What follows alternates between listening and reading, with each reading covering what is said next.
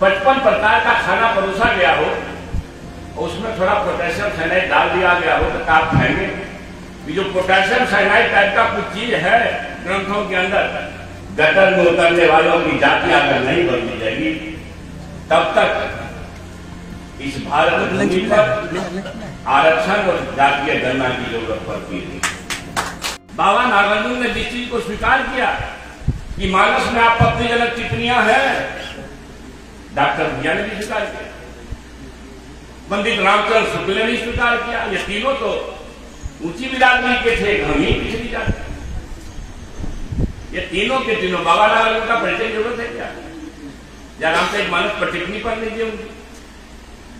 या फिर डॉक्टर भैया की टिप्पणी पढ़ लीजिए, किताबें मिल जाती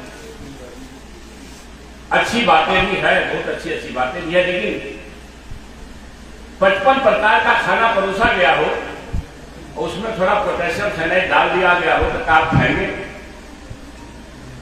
इसलिए मेरी आपत्ति वहाँ है और रहेगी जीवन भर रहेगी जो पोटेशियम साइनाइड टाइप का कुछ चीज़ है ग्रंथों के अंदर, मैंने कहा तो जिनवा पर दस करोड़, मोहन भागवत कहा तो फिर पर दसों रुपया कोई ने रखा हमको इस बात का अब मोहन भागवत जी दो बार कहे वीडियो भी जारी हुआ आप लोग यूट्यूब पर मिल भी जाएगा उनका भाषण में। अगर आपको दिक्कत है तो मैं दे दूँगा। फ़र्क कहाँ है?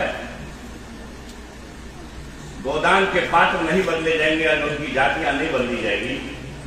गटर में उतरने वालों की जातियाँ अगर नहीं बदली जाएगी तब तक इस भारत भूमि पर आरक्षण और जातीय गणना की ज़रूरत पड़ती है।